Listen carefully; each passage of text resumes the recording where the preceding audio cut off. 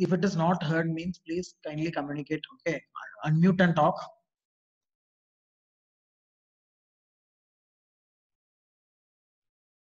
This is you didn't hear the simplex, half duplex, and full duplex. I would like to repeat that.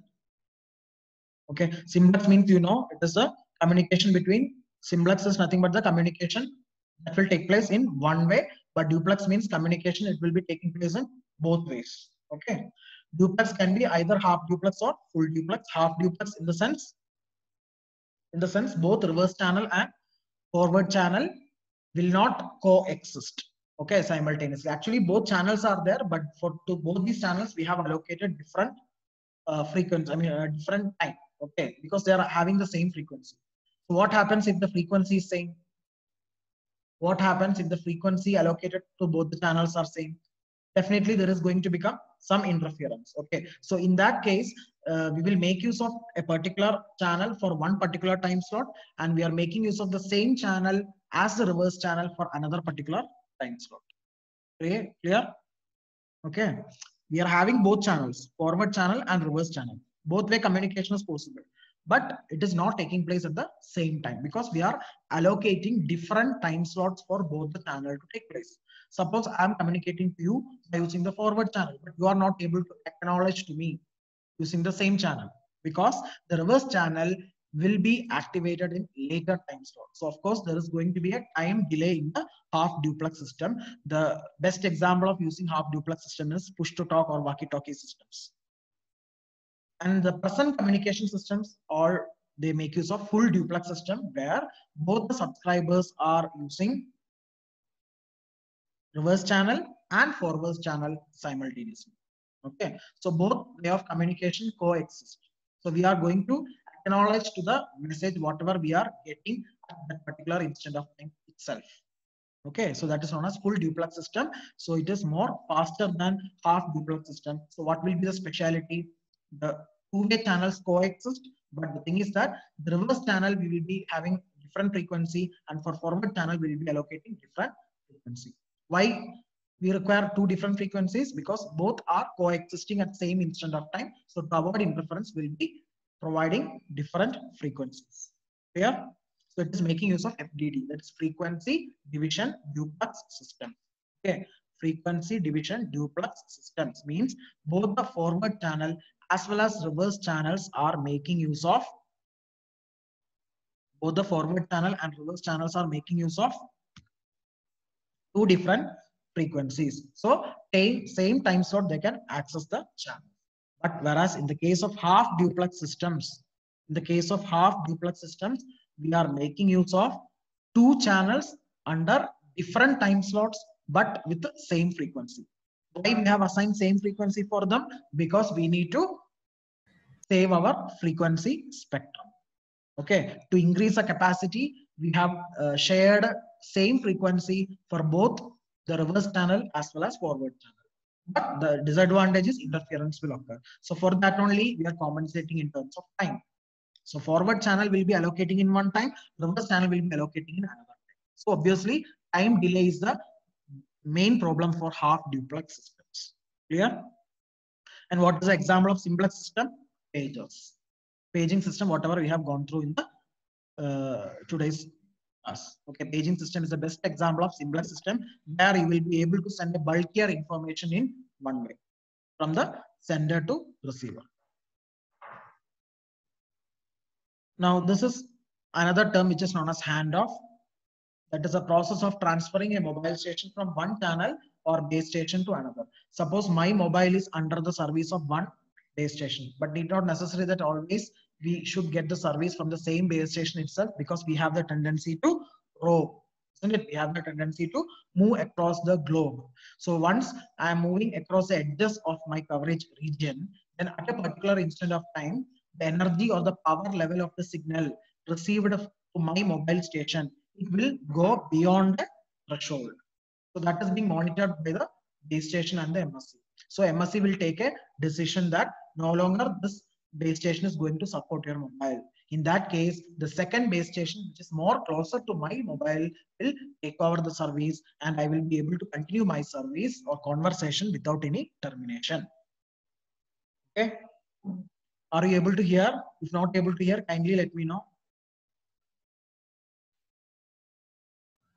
Able to hear, sir. Yes. Then comes roamer. Okay. Roamer means uh, suppose the the second uh, I mean the second subscriber is very too far from the calling subscriber. Okay, which means that these cannot be controlled by using one MSC. So we need the help of two MSC because the second mobile station or the called subscriber is under a second base station which comes under different MSC. So we need a conversation between the two MSC so as to establish the conversation between the subscribers. So roamer is nothing but a mobile station which operates in a service area other than that from which service has been subscribed. Clear? For example, my service area is under region R1. Okay, because of my mobility or because of my dynamic behavior, I have to move, I have moved to the region R2. But in R2, service is provided by another base station which comes under different MSC. Okay, that base station is coming under different MSC because it is geographically very far apart from the previous one. So I can say that the mobile station is a roamer because I have moved towards another geographical region which was sufficiently far from my home network. Okay. Initially, I was in the home network. I was subscribed to that particular network only. But later, one point of time, due to my dynamic behavior or due to my mobility mobile in nature, I have moved to a new geographical region that is having a base station which comes under different MSC. Okay, in that case, I am having, still I am getting service. Still I am getting service. The new mobile switching office is responsible to set up service for me with the help of new base station. In that case, my mobile station can be called as a roamer. Clear? Next is page I have discussed. Page is nothing but a brief message which we have broadcasted. What do you mean broadcasted? Single transmitter and multiple receivers. But the main disadvantage is that it is in simplex manner. So usually in simulcast fashion by many base stations at the same time. So simulcast means simultaneously same message or same page is being transmitted to different base stations simultaneously in one way. There is no communication between the receiver and the transmitter terminal. So that brief message is called as page and the system is called paging system. Now, the main advantage or characteristic features of cellular telephony is high mobility, wide range, two-way voice communication. They have the flexibility in terms of roaming and handoff. Means even if have moved to a different cell under the same uh, MSC, even I have moved to a different cell under different MSC, still we are able to get the service. That is what's known as handoff and roaming. Okay. Handoff means the service is being rendered by different base station under the same MSC. Roaming means the service is continued by different base station which is coming under different MSC. Hope you got the dif uh, difference between handoff and roaming. Again, we are able to integrate the cellular system with our PSTN network where I am able to communicate with the land phone subscribers also. Even when our mobile phone is turned off or the user is turned off and not engaged in a call, but still we are connected with the base station. Okay, there, there is there is a control channel. Even the voice channel is not active, but the control channel will be always active between the base station and the mobile phone or the mobile user, even we are switched off. There exists antenna. There exists a small antenna at your transceiver end, which is able to establish a control channel connection between the station and the mobile user so that it will always track your location and track your status. Once when you switch on your mobile, then the voice channel will also comes to exist. Okay, so that depends upon the initiation of call. Uh, that is either from the uh, subscriber end or from your end.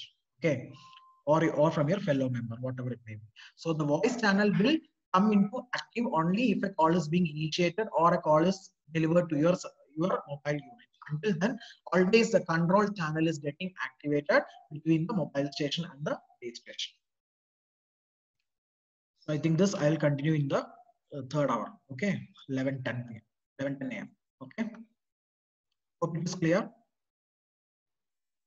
thank you mark your attendance attendance will be shared in the classroom Thank you, sir. Thank you, sir.